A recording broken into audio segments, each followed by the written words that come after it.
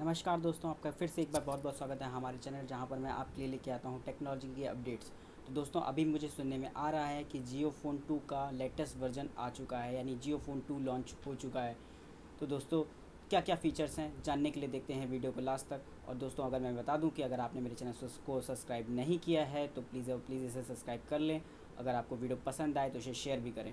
तो दोस्तों, पहला फ़ीचर्स की बात करते हैं कि सबसे पहले जो चेंज किया गया है जियो फ़ोन वन और जियो टू फ़ोन टू में वो उसके कीपैड में है जो सबसे ज़्यादा मुझे दिख रहा है वो यही है कि इसका उसका कीबोर्ड्स में एक नॉर्मल फ़ीचर फ़ोन में जितनी कीज़ होती थी उतनी है बट यहाँ पर एक एंड्रॉयड फ़ोन यानी कि जो आ, आपका जो एक कंप्यूटर की का फॉर्मेट होता है लगभग वो दिया है। आपको न्यूमेरिकल कीज़ मिलती हैं आपको अल्फ़ाबेटिकल कीज़ अलग अलग मिलती हैं।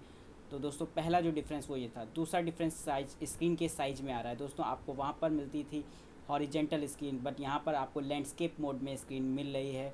जहाँ पर एक जो बहुत बड़ा अंतर देखने में आ रहा है, वो इसकी स्क्रीन में देखने में आ रहा है। तीसरा है कि अभी तक आपका जियो फ़ोन सिंगल सिम था और जो अब नया फ़ोन आ चुका है, वो आपका डुअल सिम है।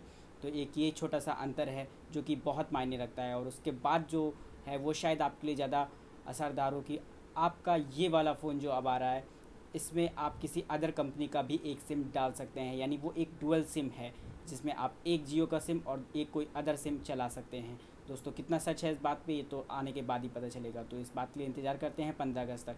अगला जो फीचर्स जो चेंज किया गया है, वो उसकी रैम में। उसमें रैम काफ़ी कम थी मेरे ख्याल से, लेकिन इसमें आपको रैम मिल रही है, लगभग पाँच सौ की रैम मिल रही है और चार जी की रोम मिल रही है। उसमें शायद थोड़ी सी कम थी इससे। उसके बाद जो अगला चेंज है, वो इसमें इसके कैमरे में कोई ख़ास चेंज नहीं आए हैं। बाकी आ, सारे सिम स्लॉट्स में मैंने आपको बता दिया डुअल हो गया है। बाकी कुछ खास चेंज नहीं है।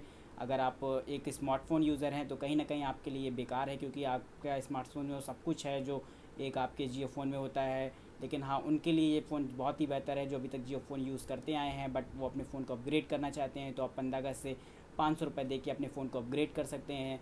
तो एक ये बहुत बड़ा चेंजेस आ रहा है। तो दोस्तों जैसे जैसे मेरे पास कोई और जानकारी आएगी, मैं आपको बताता रहूँगा और अपने कमेंट्स बॉक्स में अपने रिव्यूज़ हमें देते रहिए कि आपको वीडियोस में क्या सही लगा और क्या गलत लगा, क्योंकि अभी एग्जैक्ट जानकारी कंपनी के ऑफिशियल से नहीं आ पाई है, क्योंकि ये फ़ोन जस्ट अभी लॉन्च हुआ है। तो जानने के लिए इस वीडियो में लाइक करें और चैनल को सब्सक्राइब करें। बहुत बहुत धन्यवाद।